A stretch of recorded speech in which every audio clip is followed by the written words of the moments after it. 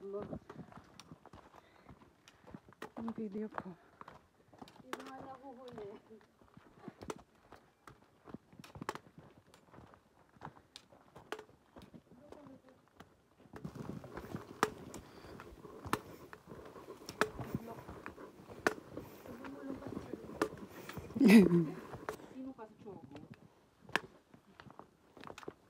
Si Spider. Si Spider-Man ni Laura. Vlogging my vlog.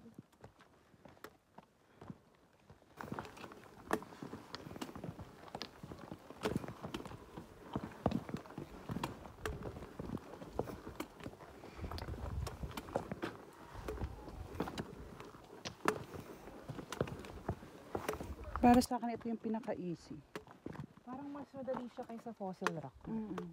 What? Talaga? Mas Yes. madali yung pababa nito. Is that true, Emily? This is